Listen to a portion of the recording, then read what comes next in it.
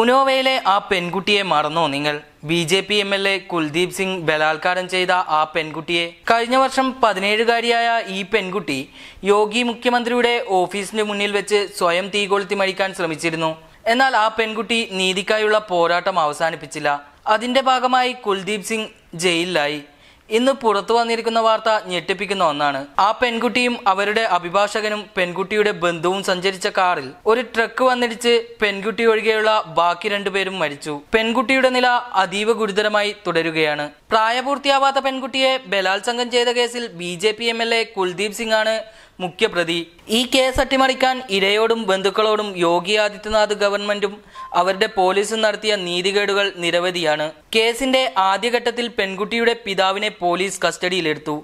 അദ്ദേഹം പോലീസ് കസ്റ്റഡിയിൽ വെച്ച് കൊല്ലപ്പെട്ടു.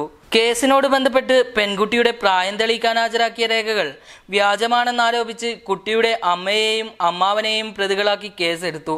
അങ്ങനെ അനവധി ടോർച്ചറുകളാണ് അവർ സഹിക്കേണ്ടി വന്നത്. ജയിലിലുള്ള അമ്മാവനെ സന്ദർശിച്ച് വരും വഴിയാണ് ഇവർ സഞ്ചരിച്ച കാറിലേക്ക് ട്രക്ക് വന്നിടിച്ചത്. ട്രക്കിന്റെ നമ്പർ പ്ലേറ്റിൽ കറുത്ത പെയിന്റ് അടിച്ച് നമ്പർ മറിച്ചിട്ടുണ്ട്. ബി ജെ പിയെ എതിർക്കുന്നവരെയും അവരുടെ ഇരകളെയും കൊന്നാൽ മാത്രം വരുന്ന അച്ചാദിനാണ് ബി ജെ പി ഇപ്പോൾ നിലവിൽ വരുത്തുന്നത്.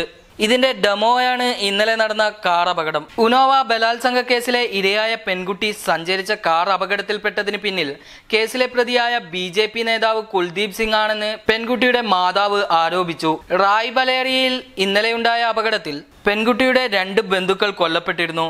പെൺകുട്ടിയുടെ നില ഗുരുതരമായി തുടരുകയാണ്. ബലാത്സംഗ കേസിലെ പ്രതിയായ കുൽദീപ് സിംഗ് ജയിലിലാണ്. എന്നാൽ ജയിലിൽ കഴിഞ്ഞുകൊണ്ട് കുൽദീപ് സിംഗ് അപകടം ആസൂത്രണം ചെയ്തു എന്നാണ് മാതാവ് ആരോപിച്ചിരിക്കുന്നത്. കുൽദീപ് സിംഗിന്റെ ആളുകളെല്ലാം പുറത്തുണ്ട്.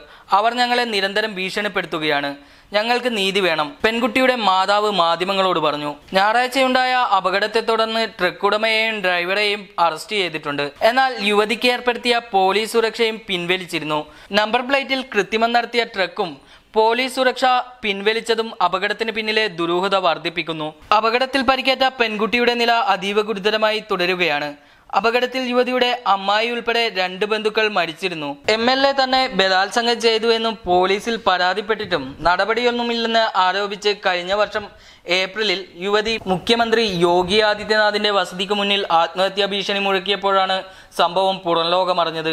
ഇതിനു പിന്നാലെ അനധികൃതമായി ആയുധം കൈവശം വെച്ചെന്നാരോപിച്ച് യുവതിയുടെ പിതാവിനെയും സഹോദരനെയും പോലീസ് അറസ്റ്റ് ചെയ്തിരുന്നു.